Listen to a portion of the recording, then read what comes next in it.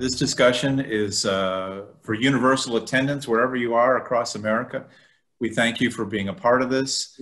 Uh, we love it when we can take down the walls of our, our classroom and, and, and have you all attend some of these conversations. And this will be an extraordinary conversation with, with a gentleman who's written a book, uh, The Kent State Shooting 50 Years Later, When Truth Mattered. And I have, um, have the greatest respect for this man. He has, uh, uh what uh, Professor Ottman didn't say is he's had decades in the newspaper business, as have I, and, uh, and our guest today. Uh, I think it's about 100 years among the three of us. and I won't tell you how that breaks out. But this is a man who early in his career led the Akron Beacon Journal to a Pulitzer Prize covering one of the greatest tragedies in American history at Kent State. He also was an editor at the Rochester Democrat and Chronicle, and then went on to lead the Detroit News, where another Pulitzer Prize was won by that paper. Uh, in between, he has he has had an extraordinary career um, I mean, every few years he would dip back in academics. He literally wrote the book uh, on, on how to manage a newsroom. And I found that throughout my career to be uh, in, incredibly helpful. He also is a Nieman Fellow and uh, subsequently was a curator uh, with Nieman and has done that. Uh, he was curator until 2011. We are honored to have him. Welcome, Robert Giles. Thanks very much, Ken and Andrew and students. Nice to be with you. So one of the things that I've learned over time as a professor and dean is that my clearest memories were not even experiences for my students. Uh, and even though people of my generation, Kent State means something immediately. We, we have visual images. Could you set the stage for us as to what happened uh, on the campus of Kent State University in 1970. What was the world doing then? Well, the world was uh, involved in the anti-war protest. That was a main focus in, uh, in, on a lot of college campuses in the 1960s and 70s. Kent State was a kind of a modest uh, rural kind of university that had had a, an explosion of growth in the 1960s and had become not a hotbed of protest, but they had had some, some of their own. It was the last place in the world, uh, from my view, that you would expect to see violence. Uh, the, the triggering episode that started a, a, series of protests around the country on college campuses was on April 30th, a Thursday night, when President Nixon went before the country and announced that he was sending troops into Cambodia. And there were widespread protests on college campuses. They were generally peaceful. But at Kent State, on the following day, on Friday, about 500 students gathered on the, camp, the Commons, which was a, a gathering place for students. Uh, and, and, they had a victory bell there that they rang when they won a football game. And they they dug a hole right by the, the victory bell. They tore a page out of the US Constitution and buried it, claiming it was the Nixon's speech was the death of, of the Constitution because he had violated the Constitution by not going to Congress to get approval to send American fighting troops into another country. Uh, on Friday evening, uh, the students were uh, celebrating the end of the academic year and the beginning of, of their term exams. And as was the custom, they gathered in the bars on uh, downtown Kent. And the mayor got nervous about it uh, because of the uh, demonstration on the campus that afternoon. And he ordered the police of the city of Kent to kick the kids out of the bars. And so here you had a situation where uh, these uh, some inebriated, some celebratory students were milling around downtown, and some of them took their beer bottles with them outside the, the bars and started throwing them to the windows and so on. Uh, the mayor then uh, kind of panicked and he called Columbus, the state capital, and asked for the governor to send in the Ohio National Guard to provide uh, safety for uh, the, the, town and, and the campus. Um, the following day, there were some arrests made that evening, and the following evening, the students called for a rally at the ROTC building. It was an old uh, World War II type uh, structure uh, made out of wood. Um, they lit it on fire. Uh, the police, uh, the fire department came, and uh, the students cut the fire hoses so that the fire wouldn't go out. And the students, then students cheered, and the building burned down. On on that was Saturday night. On Sunday, um, the National Guard had arrived, and they had taken up a, a bivouac place on the on the edge of the commons so they were well within the view of the students. And this began to build a resentment on, among the students about the appearance of armed guardsmen on their campus. The students uh, kind of had a, a, a, a, celebratory day with the with the uh, guardsmen. They were curious about one another. Some of them played frisbee. Uh, there was a uh, one famous moment when uh, one of the students, who was later to be a victim, Allison Krause, took a flower and put it in uh, the barrel of one of the guns and said, flowers are better than bullets. During the morning, Ohio's Governor Jim Rhodes appeared on campus and seeing a leadership vacuum, the, the president of the, of the university, Robert White, was not there. He had gone off to a meeting in Iowa. Uh, and so they, he took charge.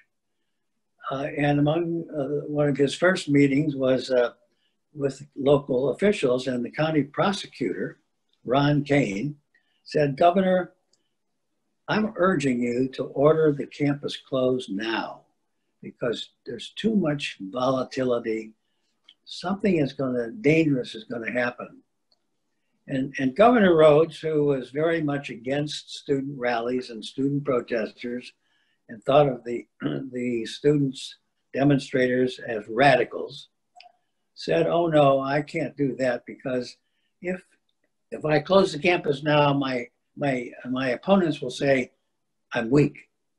Uh, so, uh, and instead he, he turned to the National Guard commander and said, uh, there's a rally planned for Monday at noon. And my order is that there will be no assembly of uh, peaceful or, or otherwise. Uh, what is critical about Rhodes' behavior uh, at this moment is that he was engaged in a very close race to win the Ohio uh, uh, Republican uh, senatorial nomination against a famous Ohio political name, Bob Taft. And uh, he was it was a close race, which he eventually would lose, but he wanted to show his base, what a tough guy he was, uh, in putting down the protests and the statements and the activities of these student students, what he called the student radicals. If I could just interject for a second, you have beautifully set up the weekend. Of course, Monday is going to be the fateful day. But I want the students who are watching this to just think about this. Kent State, in its way, in its era, was no more radical or politicized than Middle Tennessee State University is today. Um, this was not an elite liberal school. This was not a particularly political school. This was not Berkeley. This was not Columbia. This was in the middle of America, not a lot different from our campus as well. And so just imagine, if you will, if you're out there on, on the weekend, you You've gone out the night before, you've gone to bars that are popular with college students and people have broken windows. And then on our campus, somebody sets fire to a building. And on our campus, here come tanks and armed troops. And, you know, that should sound like an out of body experience to you because it felt that way, I'm sure, for Kent State students. It's, this is unbelievable that's happening on our campus. The other thing I wanted to mention, because I was of that generation, um, is that the, the big difference between the students walking across our campus today and then was that those students, those male students, were subject to the draft. and many had no idea of knowing what how they'd spend the next two or three years of their life. We would get a number that would tell us roughly in what order we'd be drafted. But as much as people felt the war in Vietnam was immoral uh, and the wrong war and unwinnable, if we're truthful, a huge percentage of those folks also feared that they would lose their life in foreign land for no good reason. And that's what created the real fervor on campuses. Uh, now we have an all, all, volunteer army. It's a different dynamic entirely. But um, that's why passions were particularly high in America at that point. We had an entire generation that was angry and fearful. And that's that's what was really the case at, at Kent State because uh, the, the themes of their rallies in part included being opposed to the draft. Uh, that was a, that was a critical fear in the, in the hearts and minds of many of the young male students. Uh, so that when they were planning, well, they did have a rally a couple of years earlier in which they, they demanded uh, the end of, of ROTC on the campus, Reserve Officers Training on the campus. That never went anywhere, but it was a statement, a symbolic statement about the sentiment on campus against, against the draft.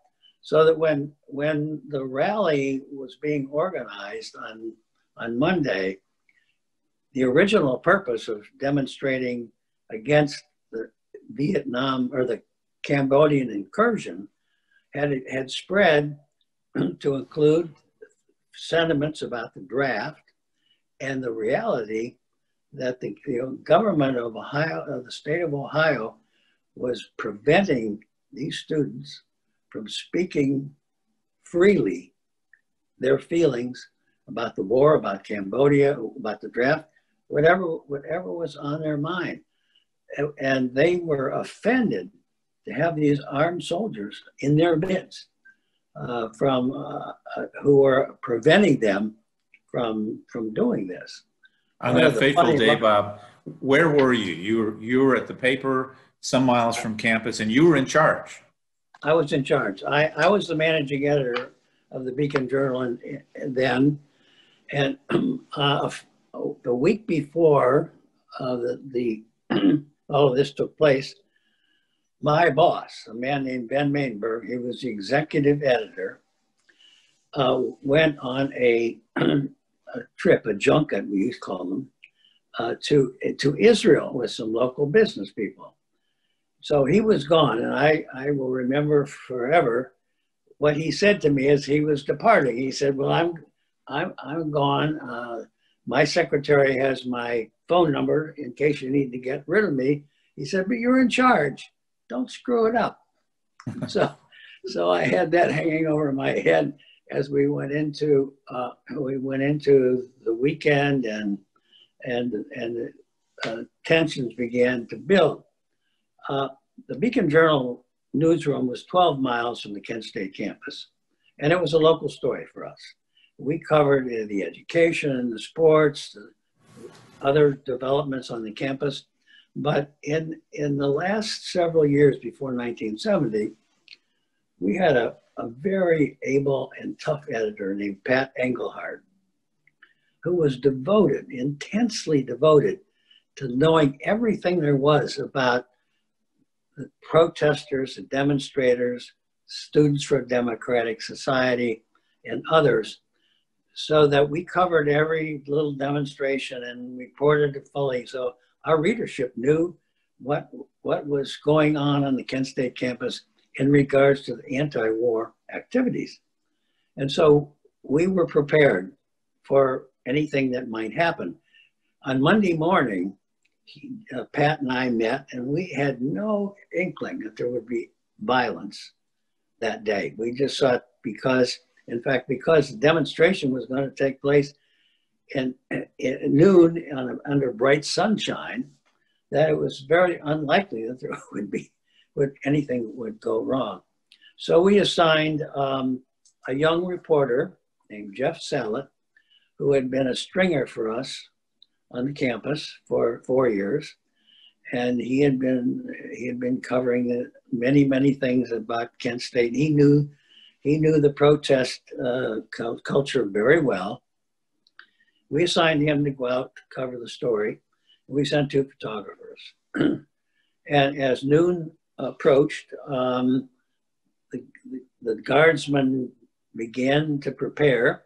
They were dressed for combat. They had steel helmets and gas masks and M1 rifles. And for those of you who are not familiar with the weaponry in Korea and World War II, the M1 is a killer weapon. It's for using, killing people in, in combat. So that's what that's the weaponry they had, plus uh, tear gas and tear gas grenade launchers. And they began to move out against the students, and the students uh, were throwing stones at them and yelling, yelling at them, giving them the finger and other things, but not really pressing them very hard. Uh, and they moved, but their their mission was to move the kids out and disperse the demonstration. So all of this activity went on for quite some time as the guardsmen marched across the campus.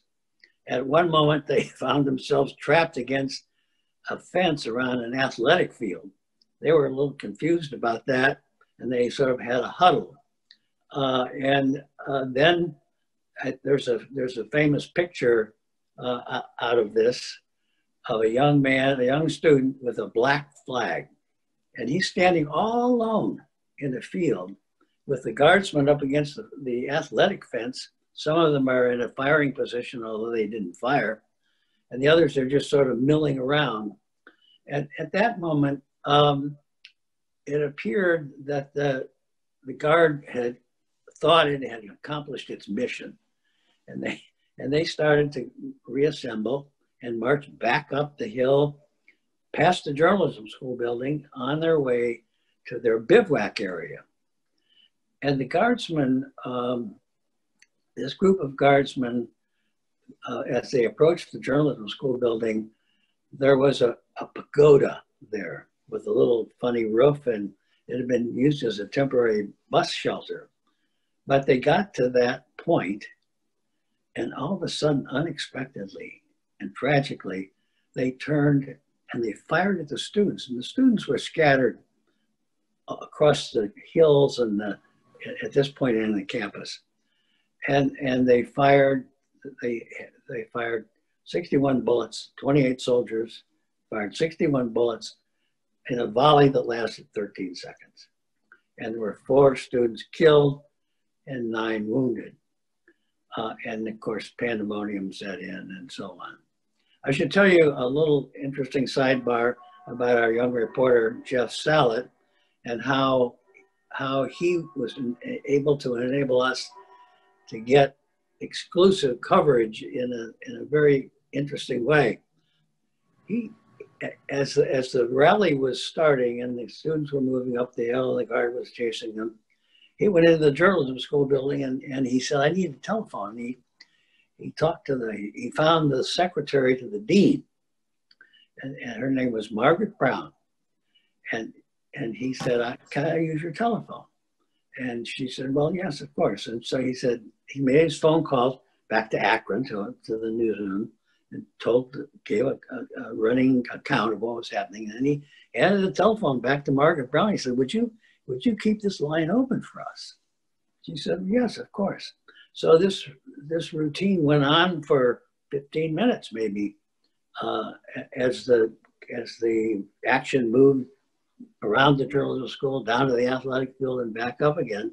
At one point, the National Guard uh, gas, uh, tear gas, began to seep into the air conditioning system in a journalism school, and Margaret Brown's eyes were running with tears, and and Jeff Sallot came back and he found her. Um, he, he found her under the desk, crying and hanging onto that telephone she was a real hero in our in my mind because, as it turned out, uh, the telephone system, the big public telephone system run by Ohio Bell, collapsed soon after the shooting, and so we had the only open line uh, from the, the, campus to to our newsroom, and we were able to get uh, to get the news uh, up, updated routinely because we were an afternoon paper in those days, and we were we were right on deadline for a major, the major home delivery press run. So Bob, Bob, when I get to talk to Andrew's class, typically the subject is the First Amendment. And I look at this, and as I told him when I proposed that you join us, this involves clearly assembly, involves freedom of press, involves freedom of speech. And, and if you could talk a little bit about the sense of responsibility you had. You're reporting this tragic incident. There are conflicting reports about who has been shot Right. and what happened. How did you make sure you got it right? Well, uh, it was uh, a matter of, of trusting your people, Jeff Sallot, the young reporter, because he was the one who observed the shooting. But what this, let me set the situation for you. Uh, the United Press International, which was a major wire service in those days, a major competitor with the Associated Press, they had a reporter on the campus who was stationed down by the headquarters of the National Guard. And as the, after the instantly after the shooting, one of the guardsmen got on the telephone and made a phone call and said, uh, "We have a we have two dead up here. We need an ambulance." And the the reporter uh, for the UPI assumed, and that's a terrible thing to assume. He assumed that the two dead were guardsmen. And so he phoned in a flash to UPI headquarters, to UPI's office in Cleveland, It said, There have been four dead at Kent State, two are students and two are National Guardsmen. And the, the UPI put that out on their, their national wire. And that story ran on page one of the local Kent paper, four dead, two students, and two guardsmen, and on radio stations all across the Middle West, and particularly in Ohio. Uh, meanwhile, the AP is moving a flash that says four students dead. And so we're talking frantically to our young man who's on the telephone in Margaret Brown's office and he's saying, no, I saw this, it's four students dead. So my editors turned to me and said, what do we do? And I said, well, we're going to go with our guy. It was a gut, it was a gut decision, I, you know, but I, I really believed in him. And I believed the fact that he was able to observe, observe the action and therefore with his own eyes had seen four students fall dead.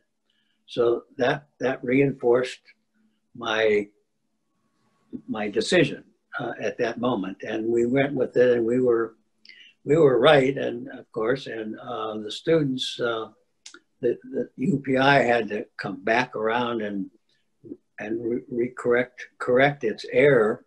The Kent paper had to run a whole new edition, replate to run a whole new edition because they had made this mistake. So, Bob, I I grew up in the Chicago area, and the Chicago Tribune the next day carried a headline that said, it to the effect of students riot at Kent State, four killed. And the story coming from the guard was that the, they were being attacked by students and had no choice but to shoot in response to that. I was struck, I actually had the opportunity to speak at Kent State University two years ago. And I, I stood at the pagoda and looked down to where the bodies would have been because they're all clearly marked at Kent State. Right. It's a huge distance. I mean, I don't think I can throw a baseball as far as that was. I, so the idea that students were throwing rocks from there is ludicrous. Um, what is actually the truth of what happened? I understand the students, a number of them were actually shot in the back, so they weren't approaching the troops. Well, two, two of the students, Bill Schroeder and Sandy Scheuer, were a long distance away. They were walking to class, to their one o'clock class. The two, there were two uh, others who were demonstrators, Allison Krause and Jeff Miller. Uh, and you, we have photographs of them, and you know, Jeff Miller is giving the guard the finger, and he looks a little bit like a hippie. He's got a bandana on and stuff like that. Uh, but the photo, the photo evidence is very persuasive. There were three student photographers who took the dramatic photographs, and, in my in my book, I use their photographs, their images, plus one from a Beacon Journal photographer, to demonstrate that uh, the students were not pressing the guard in the way the guard claimed. And um, this, these images provided, provided the evidence, evidence for that. Uh, so, um, so there were really two, two what I call misrepresentations by the guard commanders because they wanted desperately to shift the blame from their soldiers to the students, the demonstrators. And that's what the that, that's where the headline in the Tribune comes into play in my mind, because the students uh, they were throwing some stones and rocks, but the, the evidence is is very clear that they they were not threatening the lives of the guardsmen. So the guardsmen, the guard leadership claimed that, they're, that they had to shoot because their lives were in danger. The other thing was that they claimed that there was a, a bullet hole, a sniper, uh, that shot from the, from the demonstrators, where the demonstrators were, towards the guardsmen, and that's why the guardsmen had to shoot. The, the student, the actual story, and, and so we reported that. We didn't uh, give it any particular attention, but we said that was part of the guards' leadership explanation. We didn't believe that. And so we decided to do our own test. And we, and we found that the, the evidence that the, that the guard was pointing to, of course, was a, a 15 foot tall metal sculpture right by the journalism school building and, as it turned out, the pagoda. And it had a bullet hole in it. And to the untrained eye, the bullet hole would suggest that the bullet might have come from where the demonstrators were because the when the bullet goes in and comes out, it leaves two different fingerprints. The, where it goes in, as, as the guard was claiming, it, the, the metal furs out, and then there's a clean circle where the bullet exits. So they were claiming that was evidence. And so we found a piece of, we found the sculptor and we took a piece of metal and we went out to a field and we did some shooting and it proved just the opposite. Um, that uh, the, the, the bullet was indeed shot from the guard's position. now, how we handled this story was very interesting. Um, and was typical of, of our approach to how we cover things like this. We had a young reporter named Kathy Lilly who went, who was assigned to go out and observe uh, the shooting, the testing. Uh, she, but when it came to writing the story, and it was the Beacon Journal story, we felt that um, because the newspaper was a participant, there should be no byline in the story. The newspaper should not take any credit for having done this except to report what, what we did. We didn't say the, the bullet came from the guardsman. We said it came from the position where the guardsmen were.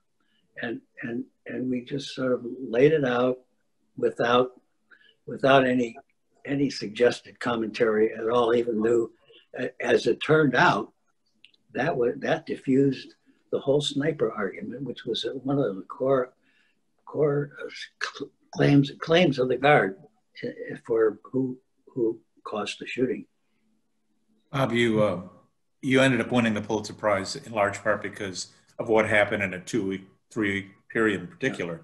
Um, and what I'm struck by in reading your book is how unsympathetic townspeople were. Even if you reported things that led uh, the public to understand that there was no riot, there was a significant percentage of that community who just, I mean, the, the quotes are astonishing. I've yeah. seen newscasts. I wish they would have killed more uh, yeah. from housewives coming out of a grocery store. That had to make your job tougher. Well, it did, and and, and we had uh, we had enormous flow of angry letters to the editor. Uh, and and the, the period where I think the, the hate letters were most intense came six weeks after the shooting, uh, when a reporter in, who covered the county of Kent and uh, got a hold of a, uh, the county prosecutor leaked it to him or gave it to him to read uh, the summary of the FBI's investigation.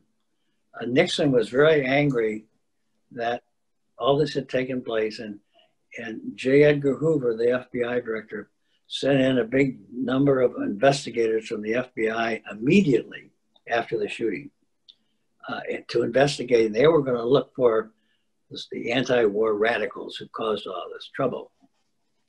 So the, the FBI came in, did their investigation, and prepared a summary of its findings for a grand jury in the local county. And the prosecutor gave this to our reporter, and he said, You can read it, but you can't have it. So, as it turns out, the telephone rang. And the prosecutor's on the telephone, and he keeps talking and talking. And our reporter keeps reading and reading. And he's got it all memorized by the time the telephone call ends and he hands the, the document back to the, to the prosecutor. And of course, it was a blockbuster because the FBI's summary was that the guardsmen didn't have to shoot. Their lives were not in danger. There were other ways of, of diffusing the demonstration. And, you know, we, we went bonkers with that story. In those days, when you had a great story, you put a copyright line on it. so we put a copyright line on it, and everybody copied us around the country. Well, we got some of the worst letters of hatred. How dare you? How dare you uh, take something from the FBI? How dare you criticize uh, the National Guard, etc.? And it was it was really overwhelming. Bob, we One have a, things, sorry, we have a number of future journalists in the in the class here. You know, you were a young man in really a, a, a, level at a level of responsibility you had not had before. Your boss specifically told you not to screw it up. You had to make a call that would contradict the you you well the, wire service UPI service, and they were respected. And then you had all these people hating you. Where did you summon up the courage to do the right thing? Well, it, I, it was it had been pounded into me by my editors when I was a young reporter in Akron. The, the owner of our newspaper at our newspaper company was a man named John S. Knight. He was revered as a an owner for two reasons. One was that uh, he, he was a good businessman, but he, he cared most about the news and about getting the truth. And, and one of his mottos was, get the truth and print it. And he really meant it.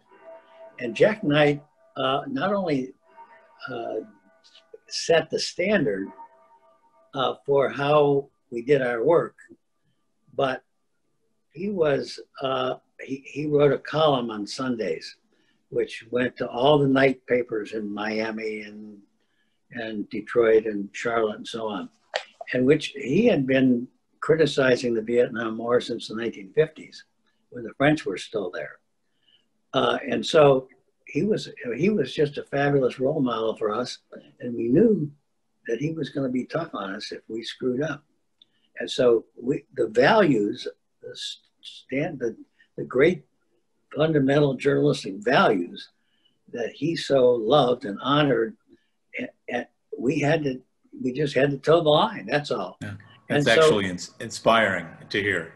Yeah. So let me tell you that uh, on the FBI story, I wrote the lead, and in in, in the in the first paragraph, uh, I said in my story that the FBI had concluded, and that was the wrong word. And uh, Jack uh, J. Edgar Hoover was looking for something to criticize us for that. He wrote a personal letter to Jack Knight and you know, attacked us and so on and and he did point out the error that I had inserted in the story by using the word concluded instead of summarized or some other word. And um, so Jack Knight responded to him in a very tough letter, which concluded with the line, there's no need for you to lecture the editor for we're as interested in the truth as you are. But uh, in, in, in, in his letter to J. Edgar Hoover, he acknowledged the error. He didn't name me, but he acknowledged the error. And I was really proud of the paper. I was chagrined that I had not been smart enough to find the right word, but nevertheless, it was in the paper and we apologized for it. And we apologized for it in a very public way, which I so, thought was, was a wonderful statement. So, Bob, you dutifully covered this and you told the truth. Um, what was the outcome? What happened in the criminal courts and in the civil courts that, that, came, um, lawsuits and, and charges that followed? Well, there were nine years of court cases um, that followed the shootings. Some of them were in the state of, in, in the county of Ravenna. Some of them were in the state of Ohio.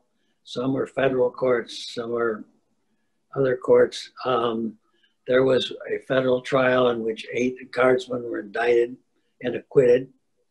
Uh, we always felt, but we never said so in the paper, but that there were a lot of rural minded people who were just against the guardsmen and, and, and, and maybe the trials weren't, or the hearings weren't as, as, as fair as, as they, as they should be. So uh, that was, so that was sort of the way all of that went. And the final, the final uh, adjudication was a settlement in 1979 in which $675,000 was distributed among the survivors of the four victims and some others, including a young, a young, uh, a young man named Dean Kahler, who was whose wounds took away his ability to walk for life. So that was how all that came out. So, Bob, this is a somewhat unfair question, but you're the authority you know, uh, initially there's some sense that these uh, guardsmen um, shot spontaneously. There's questions about whether they were ordered. How did this happen? What is your personal theory about what ignited the shooting? Well, I, I, I really don't have any evidence. Um, people have been looking for the answer to that question for 50 years. And there's a lot of theories. Um, I try not to have my own theories because the book is some about something else. But uh, I, I, so I really don't know. It seemed to many people that it was simply spontaneous. Now there, there is a, a school of thought that goes back to that moment when the guardsmen were against the fence down by the football field. And there was a group of them that got together. And the suspicion is, not my suspicion, but the suspicion is that this is where they plotted and said, well, we're going to shoot these kids and blah, blah, blah. And that they, they went up to the hill and turned around and so on. Um, one of the interesting things about that I should have mentioned when I was talking about the court cases is they is the lack of responsibility uh, from the, the guard commander, uh, Brigadier General Robert Canterbury. He was in charge of all the troops at Kent State. And, and in, in one of the, the critical pictures, well, the, the picture on the cover of my book, you can see that, uh, Canterbury in the back.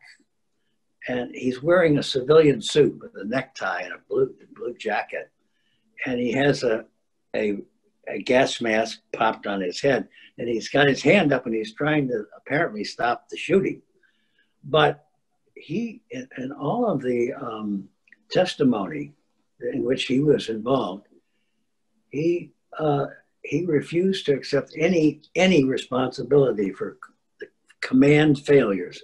There's a whole list of items that you, if you're the commander of the unit, you're, you're responsible for. So it, as I was finishing the book, I raised to myself the question, well, why wasn't he court-martialed? And um, with, with the wise help of our son Rob, who's a Navy lawyer, he said, Dad, he said, if if General Canterbury had been and, and the, the National Guard had been assigned by President Nixon, they would have been federal employees, and they would have been subject to the uh, command, the uh, universal military justice system, where he could have been guard commander. But because he was appointed by the governor of Ohio, he was a state employee, and there was no no law in Ohio that would cover that sort of thing. So that's why that, that at least I said myself, find myself to figure out why General Canterbury never got never got court martialed. We're about to turn to the students uh, for questions. Uh, let me just ask you one more question while they prepare uh, for what they would like to ask. I was struck by the fact that the newspaper, Akron Beacon Journal, that did such heroic reporting, ends up saying, the editorial page ends up saying that it was a good thing that the guardsmen did not face any penalties. They applauded that decision. Is that how you felt at the time? I felt that it was wrong. it was not the, the thing we should be saying. I thought that that more legal action needed to be taken to give the full picture of uh, of the situation. But I respected the fact that in our newsroom, the editorial page was totally independent from the news department. And I, as managing editor, had no voice in, uh, in dictating what might be, you know, an editorial or so on. So, uh, you know, I respected that and that's the way, that's the way it was left. So, and, and which for the class, this is the way it's worked for decades in the, in the news business. The, yeah news people report the facts and the editorial page uh, crafts an opinion. You asked a question of me about the use of the word riots. In yes, sir. And, and I have a thought about that. Um, there is a there is a clear distinction between riots and protests in in our language, and in many cases, we use the word riots. And it was not simply because it's a it's a more comfortable word count for the headline writer, but the fact is that a riot is where damage is done, or uh, or and so on, and in some cases, well, on the Friday night when they were breaking windows in the downtown bars, that that meets our definition of a riot when uh, when you're throwing stones at National Guardsmen, that may or may not, but it's it, it has it, it, it can be fit into the definition of a riot. So what we were, uh, let's see, we called um, we called it riots. We called it a, an outburst. Uh, but the, um, the the basically the the argument is that the protesters, and we use the word protesters and demonstrators consistently in the book. And these were people who were legitimately expressing their First Amendment rights. Uh, and, and, and by, by using the word protest as often as we did in the newspaper as well as in my book, that is what we were trying to convey. Uh, and so what people who say these are these rioters and these radicals and so on. They, well, this came up in an earlier conversation with my friend Bob because today we see protests all over the country, Black Lives Matters, and Black Lives Matter, and then we have criticism from politicians who say they're not demonstrators, they're, they're looters. And as far back as Kent State and uh, probably before that, how the news media describe that that activity goes a long way to shaping public opinion. And the challenge is if you're in the news media, how do you define riot and when does it become a riot? Uh, as I was looking through the Akron Beacon Journal, there, there's some language in there where they talk about charging students when, when already Bob and his team knew that the students weren't charging towards the, uh, the guardsmen. But anyway, the power of words to shape opinion. I know we have several questions. I have a two-part question. One, were there any charges brought against the paper? And were the members of the paper required to testify in the cases against the guardsmen? That's a very good question. There were, there were no charges brought against the newspaper. That was, so- that's sort of unheard of unless, um, because we have such strong First Amendment protections that as long as we're being truthful, uh, we're pretty much immune from, you know, people claim libel and other defamation and so on. Mhm. But none of that was ever even threatened in our case.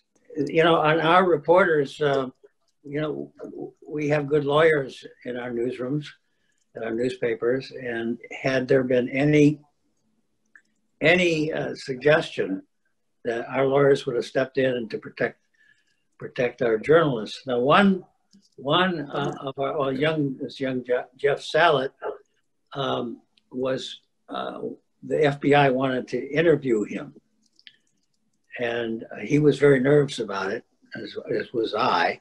Mhm. And we struck a, a deal uh, in which we would allow Jeff to be interviewed as long as the questions were only about things that he reported. Okay. There were things that were in his stories. He was allowed to respond. And the, what the guardsman or what the FBI was looking for, of course, was something different. Uh, so uh, that, that didn't last very long. Mhm. Um, you said, excuse me, you said you broke this story in your afternoon edition. Um, what time did you publish it and how much time did you have? Well, our first edition, which went to the outlying counties around Akron, went to press about 11 o'clock.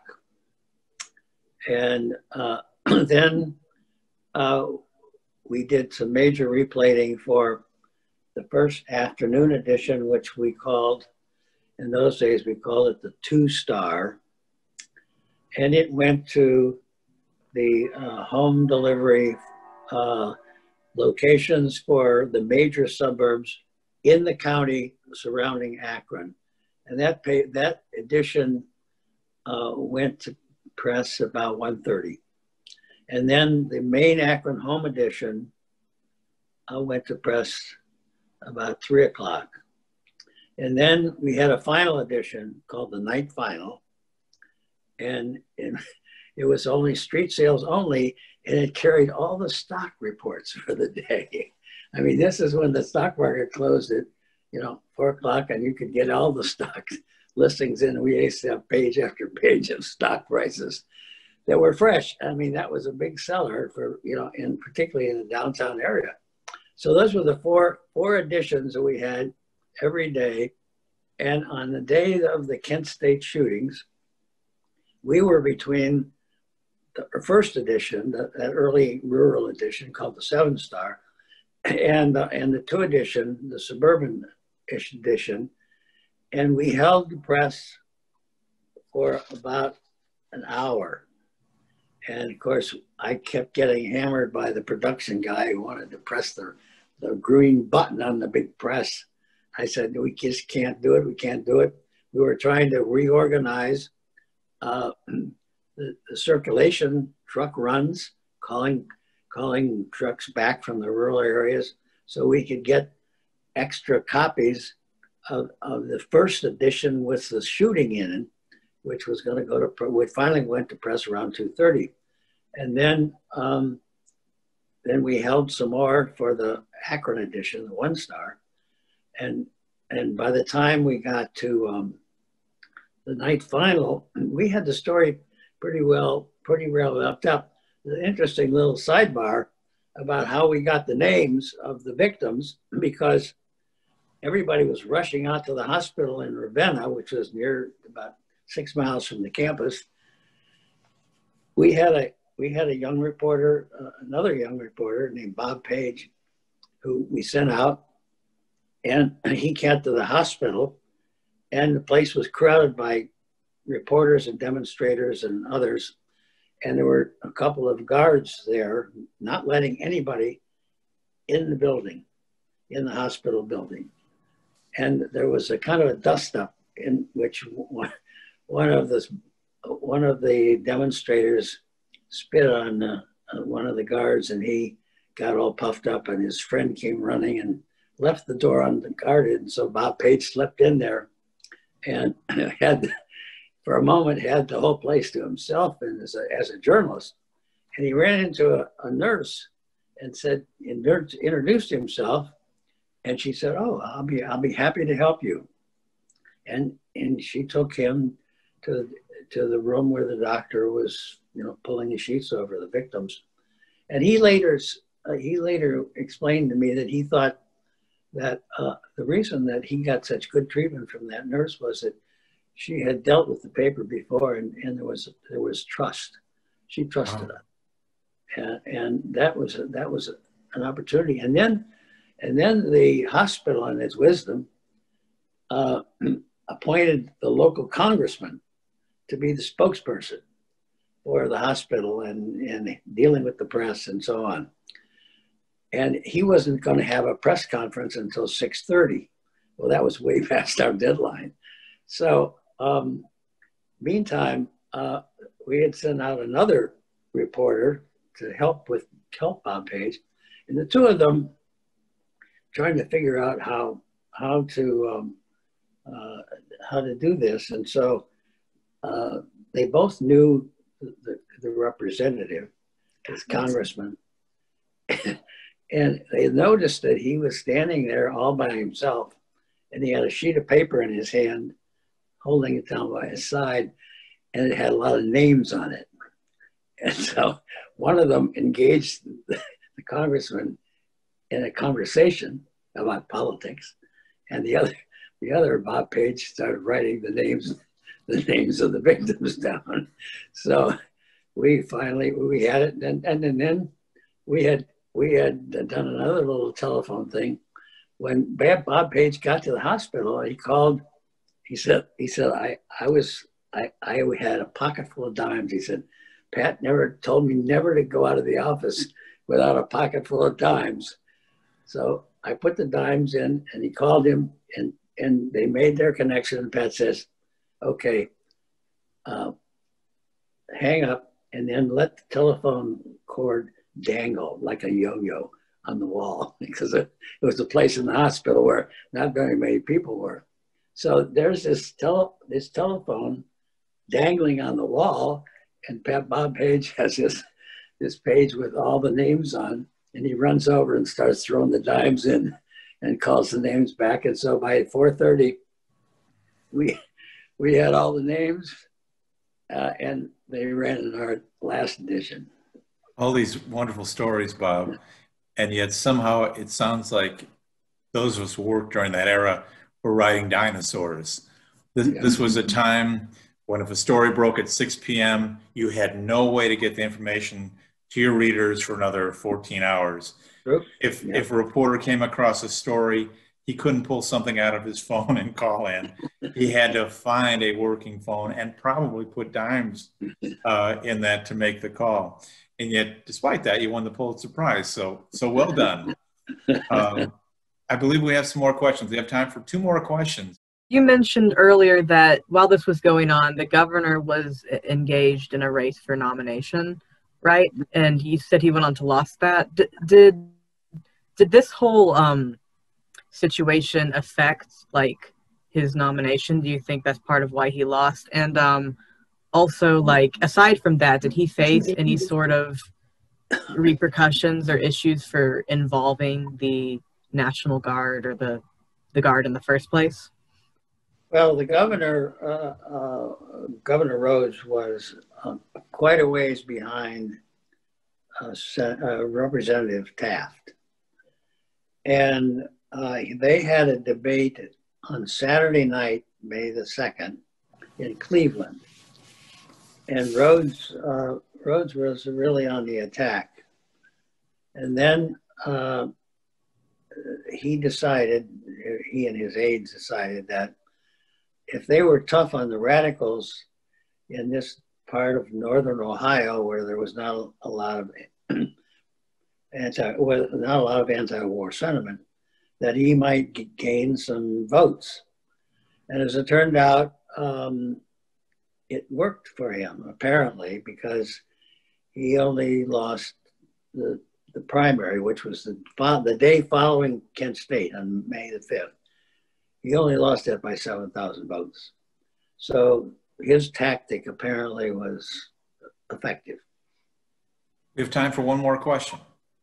So you talked a lot about how you trusted your reporter, um, which caused some discrepancies in the in the different stories. Uh, obviously, the truth ended up coming out eventually. Did you ever like highlight what the differences were and how you were right and they were not to keep uh, the readers?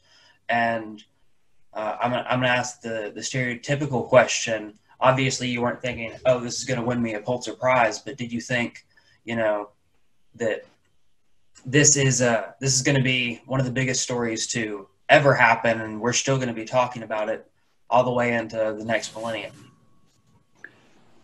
Well, uh, my mind doesn't work that way. Um, I, I, my job at that time was to give direction to the staff, to let those people who had their the responsibilities, like the state editor Pat Engelhart and others, do their jobs.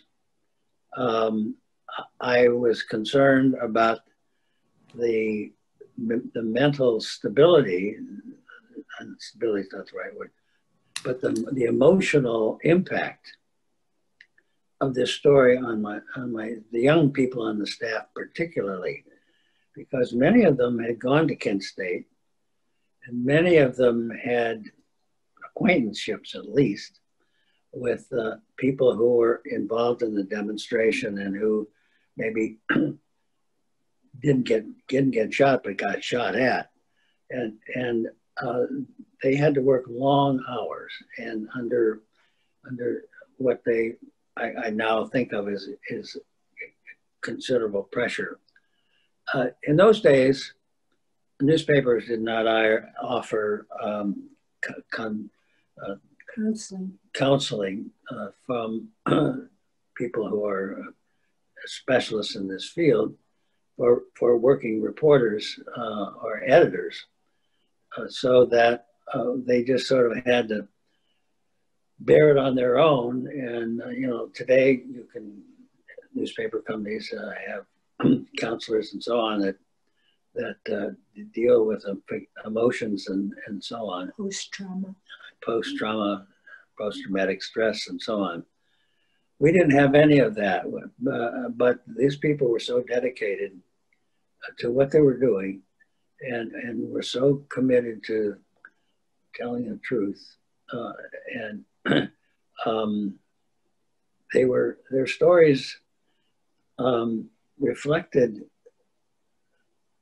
uh, mainly the idea of this is this is a truthful narrative we're creating and it was you know it was it was wasn't too long after the shootings that we looked back and said, you know, we have created a truthful narrative that we think is going to last. And it did last, it's lasted for 50 years and more. Yeah. And in, in, in which um, our version, carefully reported and, and written, is now the standard story, and which is reflected in my book on how we did that. And it's a proud moment for me to think about it and I think it's a proud moment for the, the Beacon Journal uh, in, in, in its struggle to remain a viable newspaper. One of the uh, unique things about your book, Bob, is there have been a number of books about Kent State, but yours tells a story from inside that newsroom, and that that's why I recommend it particularly highly for journalism students. It is it is the real thing. You talked about truthful narratives, and and thank you everyone for your excellent questions. I don't want to close though without asking you, Bob, about truthful narratives today. What did you learn in that period? What lessons did you learn that can apply today to this generation of news consumers? Well, I have um, one of the things that came from my book that I've now extracted and have posted on my website uh, is is what I call um, eight lessons that you can take away from Kent State as it was reported in 1970 uh, and consider them as a toolbox for today. And let, let me read the headlines to you. Uh, one, be wary of room. These are, are, are guidelines for news consumers, readers, viewers, listeners, and so on. Number one, be wary of rumors, misinformation, and disinformation. Two, welcome the, the journalistic scrutiny of those who are powerful. Number three, beware of journalists bearing opinions. Number four, give your attention to those journalists who depend on experts who know the subject best. Number five, objectivity is a virtue in a reporter. Number six, beware of false equivalencies. Number seven, don't get sucked into conspiracy theories. And number eight, always be skeptical of what you hear, see, and read. Right on the money. It all applies to today. Let me just ask I you one. so. Let me just ask you one quick follow up. For these young people who intend to be reporters, who have strong opinions, how do you set your opinions aside and be that objective journalist?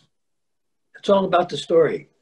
Uh, it's all about the story, and this is why the why journalism is so great. The stories are wonderful, and if you go out to report them and write them in the frame of mind that says, "My job is to get gather the facts and tell the truth," you're going to have a great time, no matter what you your personal experiences are. Uh, and, and that's my that's the best message I can give you about why why it's essential for young people to get into journalism and love it and develop a craft that will inform people in, in so many critical ways today. Well, thank you, Bob, for your time and from your for your knowledge, your insight. I can tell um, students here just echo what Bob has said. When done right, journalism is the most noble profession in the world, and and people who believe in this as a cause, um, it's not hard to set your personal opinion aside. You you have not a, at all. you have a more important mission. I don't. Uh, I don't, you know, my dentist, I, I don't care what his beliefs are, but he can put them aside when he's, his beliefs aside when he's drilling my teeth. And as a journalist, I can do the same thing when I'm writing a story. Uh, thank you, Bob. It's a wonderful, wonderful book. I recommend it to all the students and anyone listening. Uh, thank you, Professor Oppen, for making this possible. Emily, thank you for navigating this for us. Thank you, Emily. Uh, and most of all, thank you, Bob, for your many contributions to journalism and for being with us here today.